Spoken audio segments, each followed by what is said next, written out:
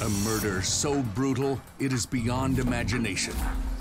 There were stab marks to the face. The body was just badly charred. It's beyond uh, explanation. People that torture other human beings are different kind of people. The ruthless killer at large for decades. It seemed like a nightmare. We just didn't know who did it. Spurred on by a mother's anguish, a tenacious detective discovers the key to the crime. All the hair on your whole body stands on end. That dude's evil. But can she bring him to justice before he kills again? He says to her, let the torture begin. I was scared to death.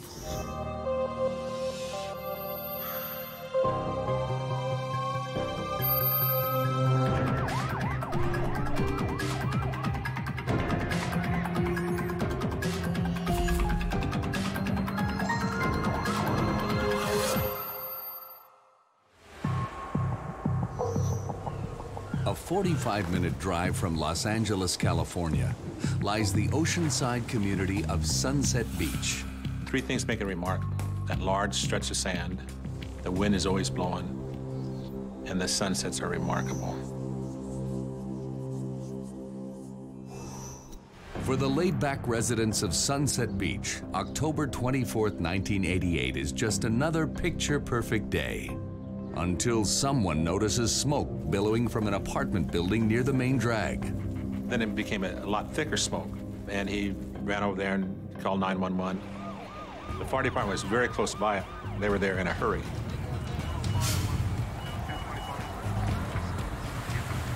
And they extinguished the fire from outside, and then when it was safe, they made entry into the apartment and to put out the rest of the fire. When they did that, they observed the remains of a charred human being lying on a bed. Horrified, firefighters quickly contact police. We were in our vehicle when we received a page from our supervisor of the Homicide Bureau. The seasoned investigator is surprised by what awaits him as Carney and his forensic team carefully make entry into the apartment. There is a very visceral reaction when you go into a, a homicide scene where there's been an arson. There's the smell, the burnt petroleum products like from the rug, the carpets, or furniture. And things are melted and things are destroyed, and things that you would, would normally recognize as clothing might just be a pile of rubble. Making doubly difficult the task of determining what happened here. Because everything's black and charred and sort of a mess, and you have to look at it a little more carefully or differently.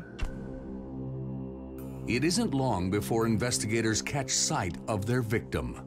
Looking into the bedroom from the hallway, you could see it was uh, completely burnt out, and what appears to be a human being laying on the bed. He was laying crosswise, and the legs from the knees down were hanging off the bed. The body was just badly charred. I mean, just totally, it's beyond uh, explanation. More horrifying still, Looks like a pillow was placed over his face. We didn't see all the damage initially, but once we took the pillow off, then we could see that he was slashed around his neck. the victim had clearly been murdered. Then the apartment set ablaze. A well planned murderer who doesn't want to get caught would try to cover up a crime scene or destroy it.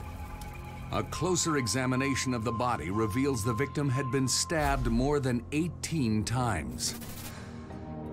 This was not like self defense, it was uh, an act of anger. Who was the vicious killer, and what's their connection to the unidentifiable victim?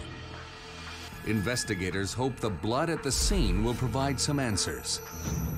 When you have stabbing crimes, obviously there's going to be blood. And if there's a lot of stabbing, then a lot of blood is shed. And blood's very slippery. Your hand is probably perspiring, and if you don't have a good solid grip, the blade used will turn in your hand and cut yourself. leaving blood from the murderer behind. The carnage in the area of the bed makes it virtually impossible to identify what blood, if any, belongs to the killer. But what about the rest of the room?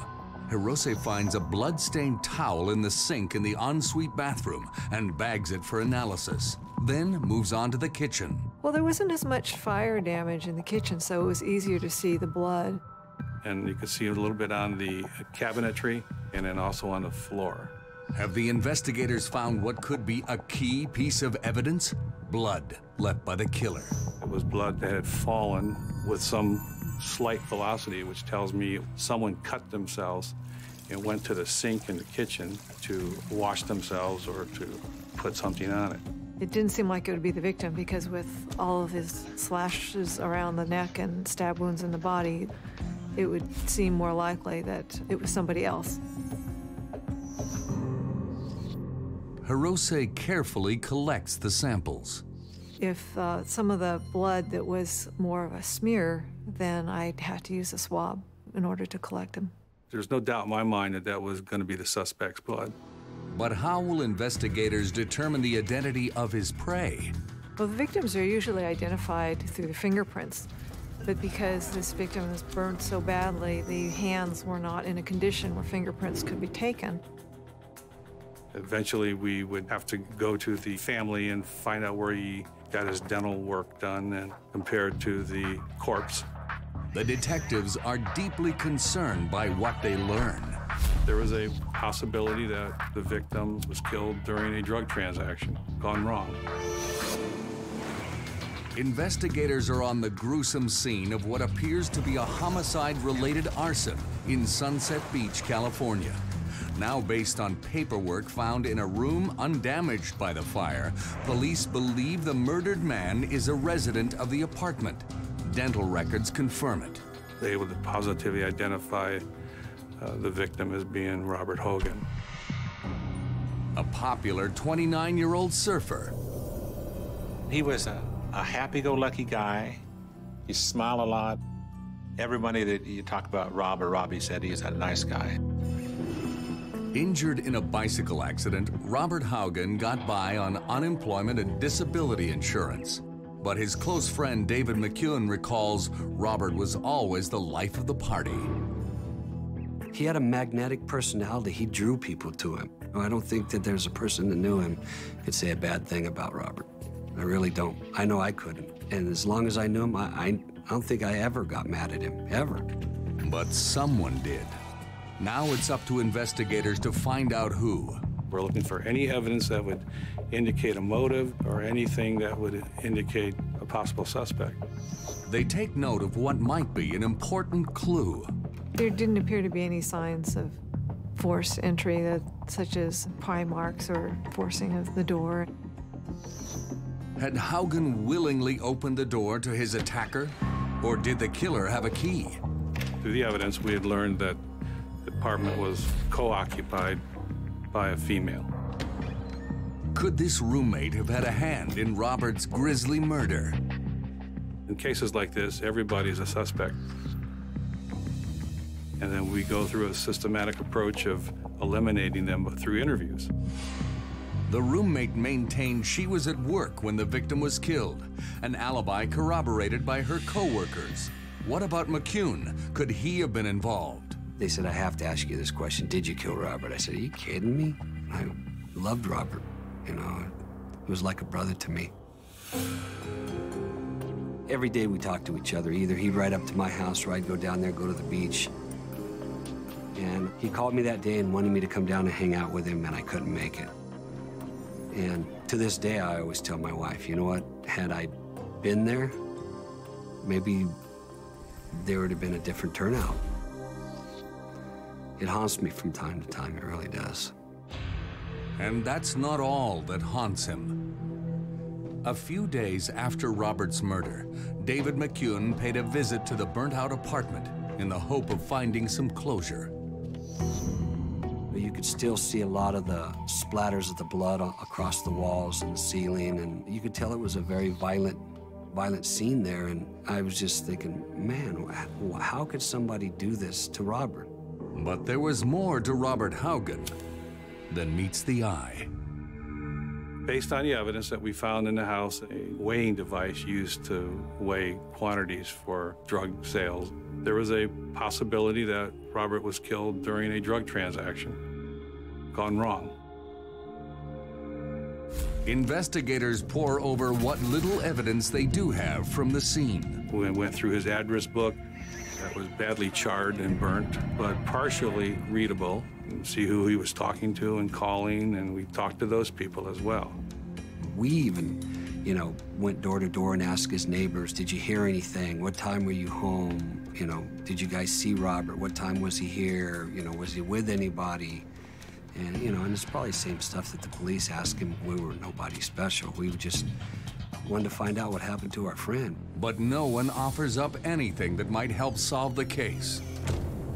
In the months following, Tim Carney continues to plug away at the investigation. Let's redo this interview. Let's talk to this person again, and what are we missing?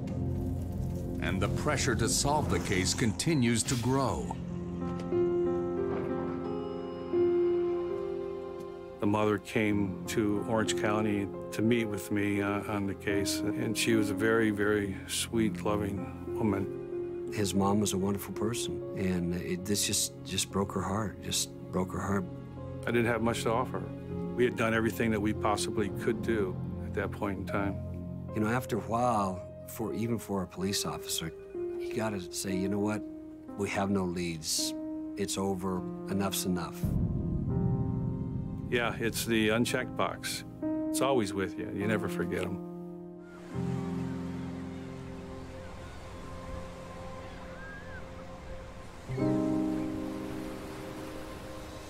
More than a decade goes by. But the passage of time does little to diminish a mother's need for justice. So every October on Robert's birthday, She'd call and say, I don't want my son's murder to be forgotten. And every year, she'd maybe talk to somebody else in the investigation unit. Then, in 2001, it was Sergeant Yvonne Scholl's turn to take the mother's call. I talked to her for probably 15 minutes that day. And when I got off the phone, I felt, wow, something needs to be done with this because here's a mother who is in agony. Scholl pulls the case files and begins to review the evidence. My first thought when looking at the crime scene photos is, wow, somebody was really, really mad at him.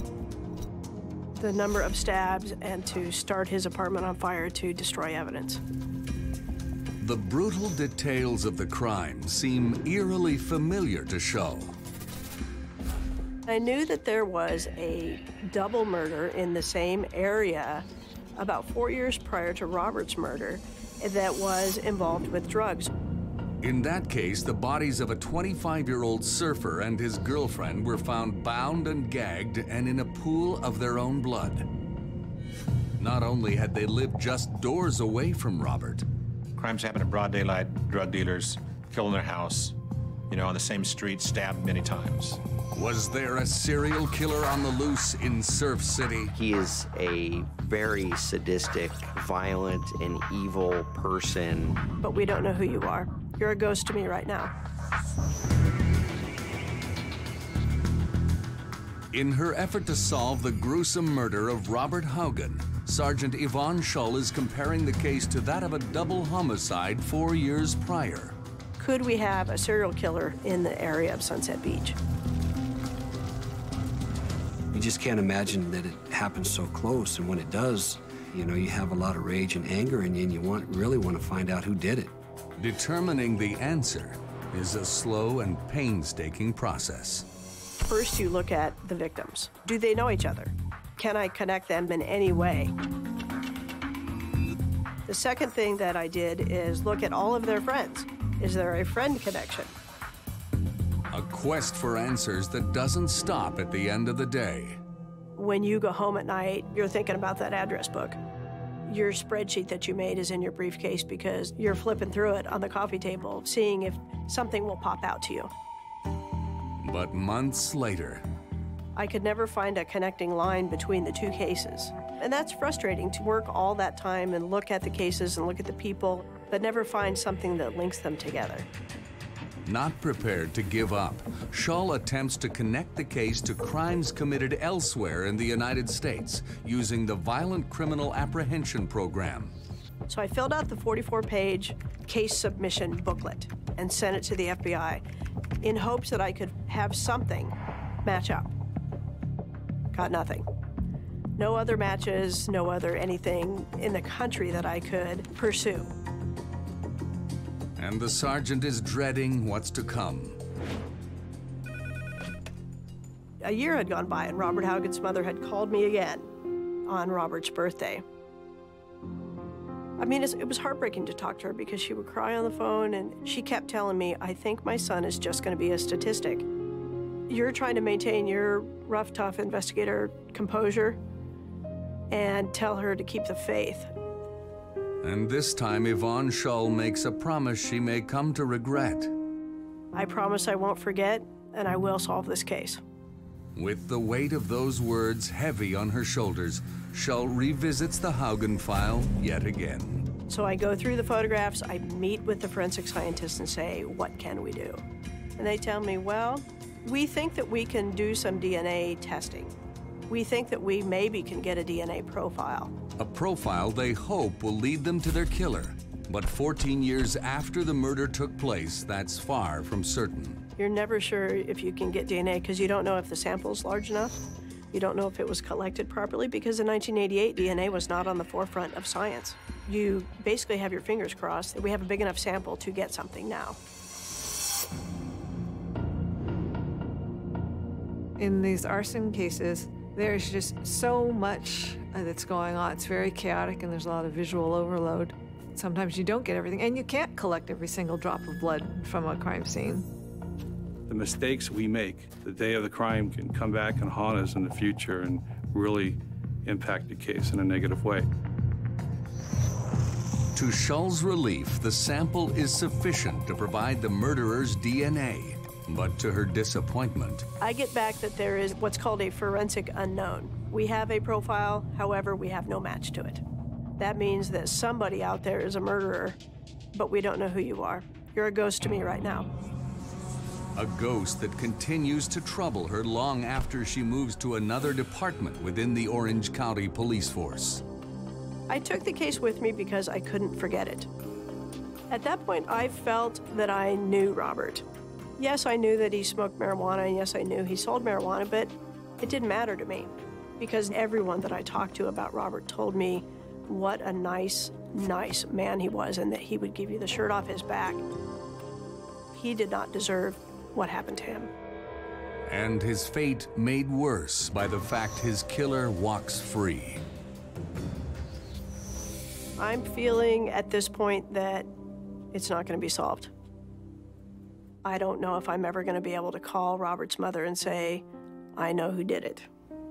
And I'm very frustrated at that point.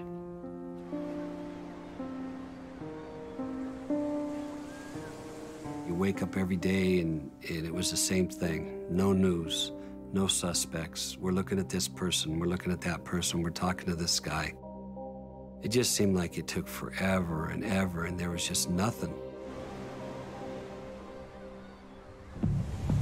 In April 2004, Yvonne Shull returns to the Orange County Homicide Unit. Robert Haugen's case returns with her. And I continued to look at stuff, continued to talk to the forensic scientists, and we're still pretty much nowhere on the case. But what they do, and they, what they did in this case, is they call it a murder book. They open up the murder book and say, is there anything new in here? Is there anything we forgot? And show it to a new set of detectives. Because I know that it doesn't matter who you are, you don't see everything. And sometimes you just need a fresh set of eyes to look at something. Shull brings on board Sergeant Ray, who, having received death threats during the course of the investigation, continues to fear for his life. It was very difficult because Robert seemed to be such a nice person who had no enemies. And then to look at those crime scene photos and to see the viciousness of this homicide, those two characteristics of this case just did not mix. He's starting to get to know Robert. He's pulling yearbooks from when Robert went to school and looking at people who may be able to provide us with just a speck of something to go forward with. Meanwhile, both officers harbor a growing sense that the killer is someone close to home. If you read books on unsolved murders or you go to classes on unsolved murders, all of them say, go over the case again, go over the case again. The person who did it's name is in the case. You just haven't found it. Sergeant Ray narrows the names down to just one the woman with whom Robert shared the apartment. Because it was a male female roommate situation, was there a jealous boyfriend? The sergeant questions her once again. The interview of the roommate was almost identical to the information she had given the original investigators. And to me, that is big because making up a story is a lot harder than telling the truth. Ray and I talk again. What can we do now? And he said, You know, I think we should put the evidence back in to be re examined because there's a new DNA system called Profiler Plus. Perfect, let's do it. So he submits the evidence for re examination. But will it find a match? I was sitting in my office, and Ray came to the door and said, I just got this from forensics, and I am on the edge of my seat. Tell me what you got. Hoping to determine the identity of Robert Haugen's killer, investigators have requested more advanced testing on the blood drops found in Haugen's apartment 19 years earlier. And when I found a complete profile that did not match the victim, that's where I felt, okay, now I have something that I can put into the database and see if there's a hit. And it began searching for DNA profiles to see if there's a match. Because Robert's murder was so violent, I'm optimistic that this person has not stopped their criminal ways. And they have been caught, and their DNA has been taken, uploaded into the nationwide database. So we try, and we strike out again. And there are hundreds, if not thousands, of cases on books with that exact circumstance. All they're waiting for is for that one person to make a mistake and get arrested and have their DNA entered in the national database. It's just a total waiting game, and sometimes it could take just a few months or it could take years or decades more, and that's sometimes the frustrating part of it. Eventually, uh, I had moved away and just kind of put it behind me, but we would try to go to the beach in October and we'd throw flowers or a wreath of flowers in. I don't know, it was just like a, like I remember you, brother, you know. I, I'm still here and I remember you, you know. It is a sentiment all too familiar to Senior Deputy District Attorney Brahim Baytieh. Victims' families never forget about cases because they never forget about their lost loved ones. The investigators in this case never forgot about the case. Three long years later, in January of 2009, I was sitting in my office, and Ray came to the door and said, I just got this from forensics, and I am on the edge of my seat. Tell me what you got. And he said, We got a hit. That match was out of the state of Nevada. So our forensic unknown is identified. Who is it? He says, Well, it's Paul Smith. And I go, Who's Paul Smith? I had to go back over these case books to try to find that name somewhere, and I didn't find it anywhere. From our perspective, Paul Smith did not exist. We did not know about him. He was never interviewed in 1988. He was never even on a radar. Maybe it's one of those things where if you don't ask the question, you won't get the answer.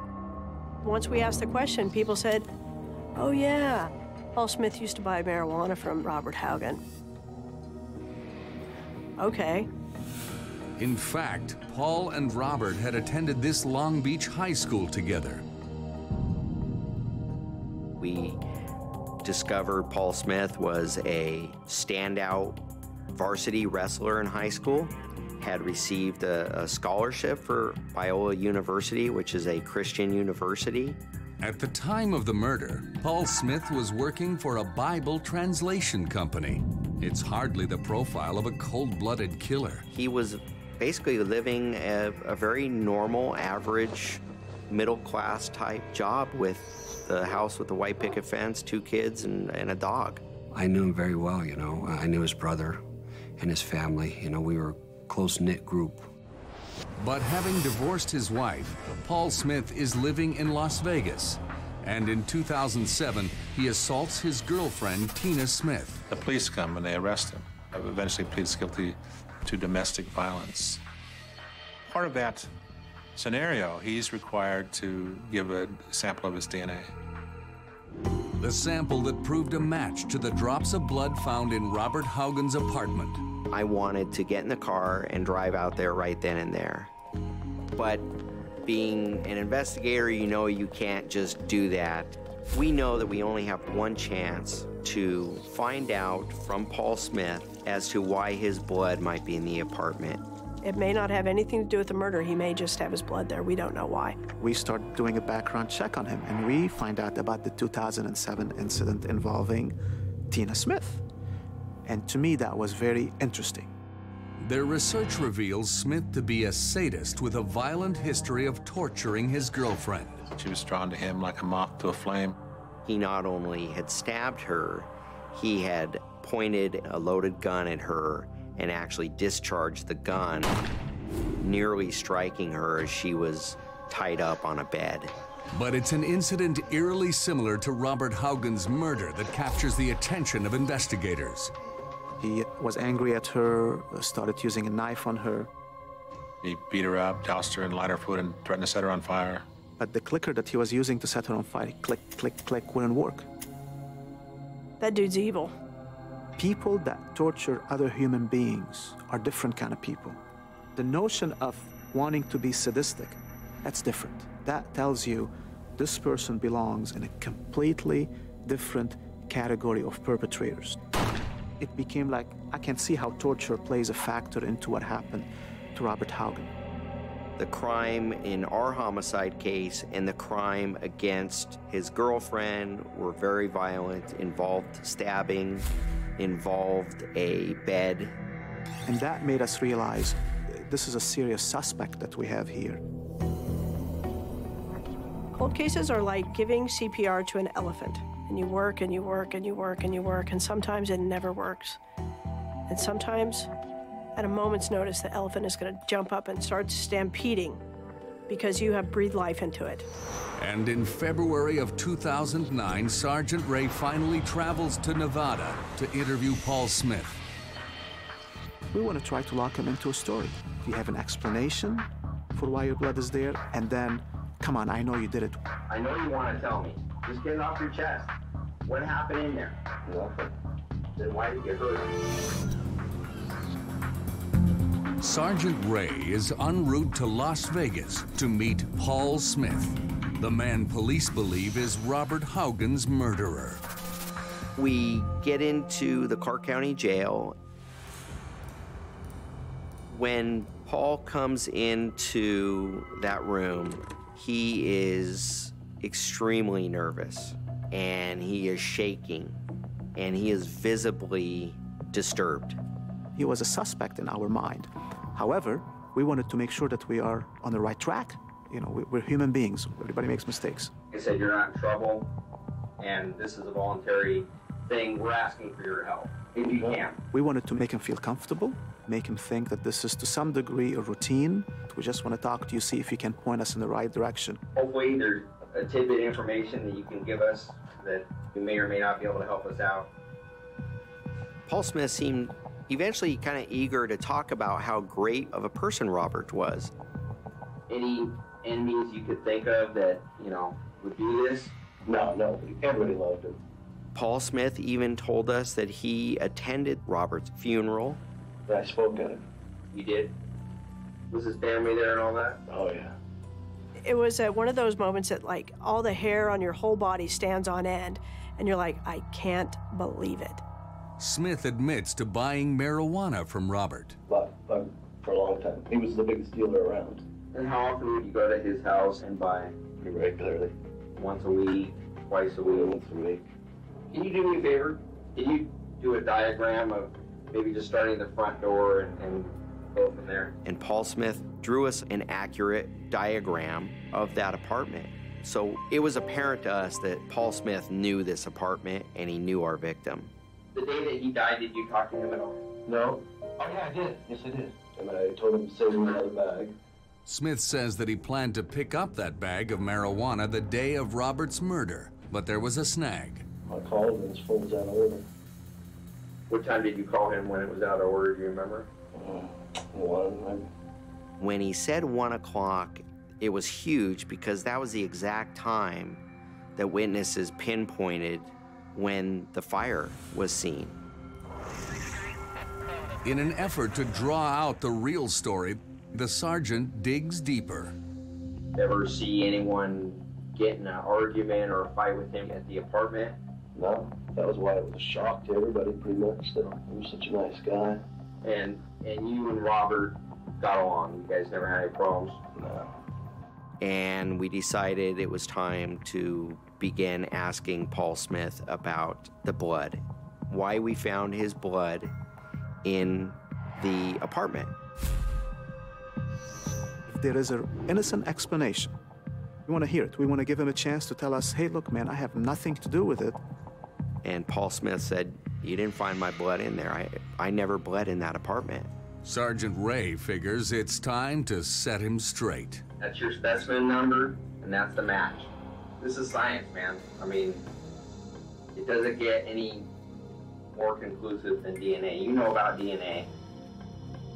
After Paul looked at that DNA report, he took a few moments and he seemed to be thinking about it. And then he decided to tell us, oh, yeah, I remember now. There was that time. I cut my finger right here with a knife the day before playing with it. It's possible. However, why didn't you just tell me that in the beginning? I guess maybe it's just our suspicious nature. We don't believe a word that he said. We believe that he cut himself. We believe he cut himself while he was murdering Robert. I believe something happened between you and Robert. There was some sort of a fight that you guys had. There had to have been a reason for it. Never had a fight with Robert ever. The sergeant decides to cut to the chase. What happened, Paul? I know you want to tell me, okay? Just get it off your chest. What happened in there? Nothing. Then why did you hurt him? I never hurt him. Despite Sergeant Ray's best efforts, Paul Smith is unwavering. Even though he didn't break, we were able to get a lot of information from him that was very helpful to us. The prosecutor in Orange County decides that there's enough evidence to charge Paul Smith with murder. I can tell you, for me personally, that was the first time that I filed a case from 20 years ago. Because I think sometimes perpetrators, after a year or two, they think they got away with it. But when you're talking about 20 years, they really thought they got away with it. They really think, I did it. Nobody knows that I did it. They don't have the evidence to come after me, and I'm going to move on. Once we served the arrest warrant on the jail in Las Vegas, I told Ray, let me call Robert's mom. It took me all day to psych myself up to do it. And I said, Hello, it's Yvonne Shull from the Sheriff's Department. Are you sitting down? Today is the day. I know who murdered your son, and he's under arrest. And I, again, had my rough, tough investigator persona on so I could not cry. But as soon as Shull gets home, I called my mom to tell her what I did for the day, then I cried. She said, I knew you could do it. in March of 2009, Paul Smith is extradited from Nevada, and Sergeant Ray has the satisfaction of escorting him back to California to face charges. I can imagine, on one hand, it's rewarding. You know, I, this guy thought he got away with murder, and I'm bringing him back. On another hand, you're in the same car with somebody that you know is an evildoer. He didn't really have a whole lot to say. I think by that time, he realized that he wasn't able to fool the cops. He's in the Orange County Jail held without bail on a, what we call it, a special circumstances murder charge. Can't get out. knowing that his mind is spinning right now. And we're interested to see what he's going to do next as far as reaching out to people. The answer is nothing short of shocking. Hearing that Paul Smith wants me uh, killed was obviously unnerving. To be the person to have put him in that position, I was scared to death. Murder suspect Paul Smith is cooling his heels in a California prison, but the case against him is far from complete. And even after Paul Smith was brought back to Orange County, I continued to do a lot of interviews, including Paul Smith's girlfriend, Tina Smith. And I think that's when Paul Smith went into mode of, I gotta make sure people don't tell the police about what I've done, mostly to Tina Smith. When we realized that, we started monitoring all of his correspondence from the jail. We started taping all of his phone calls. I just got a call from a detective that they want to interview me about something you may have been involved in 25 years ago. Oh, with me? Yes. 25 years ago? He says they're investigating a cold case. And I'm the suspect? Something you might have been involved with, I guess. I don't know, babe. I have no idea. His brain is going, you know, 1700 miles an hour, trying to figure out what can I do to get out of what I did. And I suspect one of the first things that his attorney told him is the DA didn't just file murder charges against you.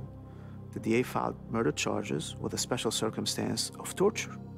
Because every single stab, every single one of those 18 stabs, Robert Haugen was alive